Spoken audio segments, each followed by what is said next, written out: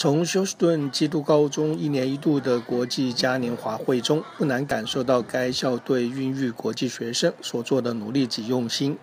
这项盛会，学生们除了会准备象征自己文化的精彩表演节目外，学习他国语言的学生也会表演外来文化的节目，彻底将不同的文化融为一体，不分彼此，只有情谊。我们知道，这个休斯顿是一个多元文化的一个主义的社会。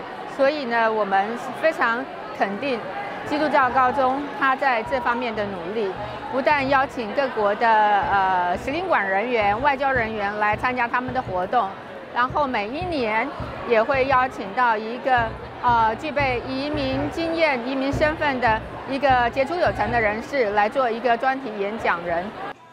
现场同时提供各国美食，任由学生免费取用品尝。另设有舞台，让学生上台即兴表演，相互观摩，很自然的也就能让大家喜欢上对方的文化。Uh, hi, my name is Aiden Torres. Uh, I'm a senior here, and I really think this event's cool because you get to learn about uh, other countries and what they eat and what they do and their culture. And I think it's a really cool place to be, and it's a nice uh, thing to have once a year to relax and chill out. Um, hi, my name is Donnie Houston. I'm a senior here, and I think this is just a great opportunity to bring all these fascinating cultures together and uh, educate us about other parts of the world. Hi, I'm Alex Merkels. Um, I think it's great that we're at a school where we can learn about all these different cultures and we're so accepting of other people. Um, and it's great to learn all about all the different cultures and the history and then eat a lot of good food.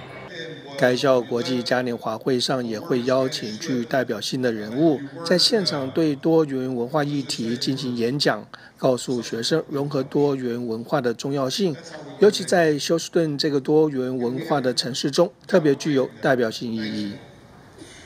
But we have to also realize that as we celebrate our, our, our cultures and our languages, that it's also important to stay close to them.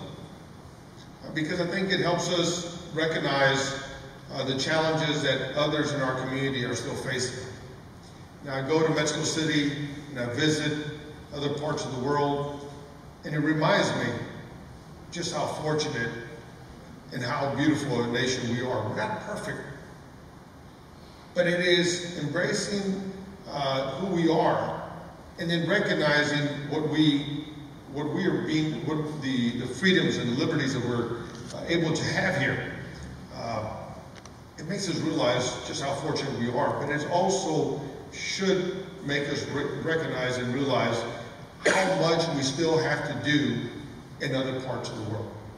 And so, uh, as you rep represent the respective uh, countries and nations that we are here, I also challenge you to think about what you can do for someone you have not yet met. Think about what you can do for a nation that you have not yet visited.